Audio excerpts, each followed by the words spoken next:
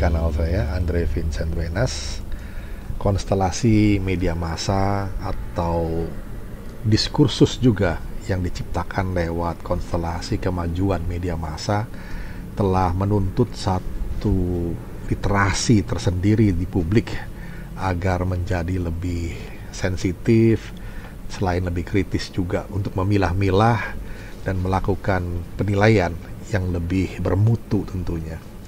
Nah, di tengah modernisasi ini dibutuhkan satu literasi publik juga untuk mengimbangi terhadap sikap banal atau sikap ketidak berpikiran, sikap uh, yang menganggap remeh dari perkembangan media itu sendiri. Nah, saya pernah menulis artikel ini judulnya Literasi Publik demi mengimbangi banalitas industri media massa.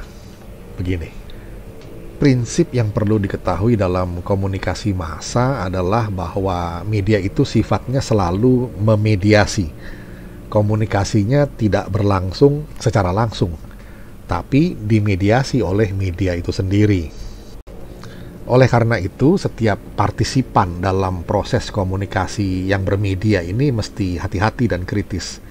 Media itu selalu memframing, melihat dan menyoroti realitas tertentu dari titik pandang dan kerangkanya sendiri. Apakah netral? Tidak, media tidak pernah netral. Hanya upaya untuk meliput secara berimbanglah yang dapat dilakukan supaya perspektif pemberitaan atau penyiarannya menjadi lebih objektif atau mendekati objektivitas. Sahabat, oleh karena itu jauh-jauh hari seorang ahli media bernama Marshall McLuhan sudah mengingatkan bahwa the medium is the message. Kalau di Amerika Serikat sana kita bisa langsung membedakan ke mana kiblat Fox News dan ke mana pula CNN. Dua partai politik mainstream di Amerika Serikat, Republikan dan Demokrat, punya corong medianya masing-masing Tentu saja media semacam itu punya kerangka referensi atau frame of reference dalam menyiarkan pemberitaan atau mendesain konten acaranya. Di Indonesia ada beberapa stasiun televisi swasta, masing-masing dengan kepentingan politik dan kepentingan bisnisnya sendiri-sendiri. Lantaran kita juga tahu bahwa di belakang stasiun televisi swasta itu ada pengusaha bisnis yang juga beraspirasi untuk jadi penguasa politik. Jadi wajar saja kalau pola pemberitaan, peliputan, dan rancangan acaranya senantiasa pekat dengan misi bisnis dan aspirasi politik pemilik media, entah itu TV, cetak, radio, berita online, dan lain-lain.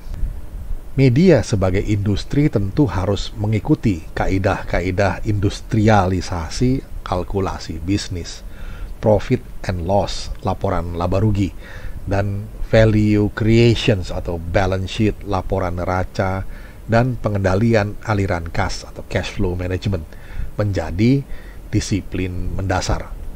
Sedangkan di sisi lainnya, kita sadar betul bahwa media massa memainkan peran krusial dalam membangun narasi yang sehat bagi bangsa.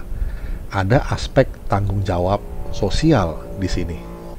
Oleh karena media swasta disadari bakal memusatkan energinya pertama dan utamanya demi memenuhi kaidah industri atau bisnis, maka pertanyaannya siapa yang bisa fokus pada aspek social responsibility ini?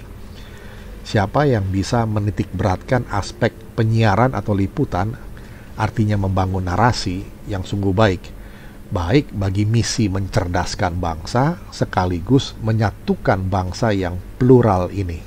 Sahabat, di sinilah peran PBS, Public Broadcasting System atau Service, yang di Indonesia kita mengenal LPP, Lembaga Penyiaran Publik, TVRI dan RRI, Radio Republik Indonesia. Ada juga LKBN Antara atau Lembaga Kantor Berita Nasional Misalnya saja untuk TVRI.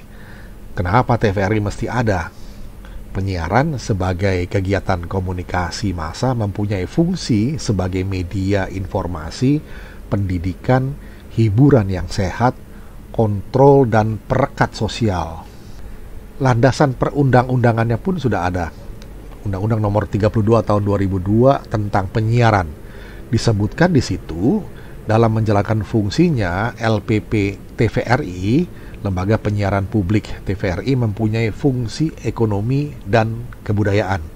Penyiarannya diarahkan untuk ini ada beberapa poin A B C D E F G H I J sampai J ya. Yang A itu menjunjung tinggi pelaksanaan Pancasila dan Undang-Undang Dasar Negara Republik Indonesia tahun 1945. B menjaga dan meningkatkan moralitas dan nilai-nilai agama serta jati diri bangsa.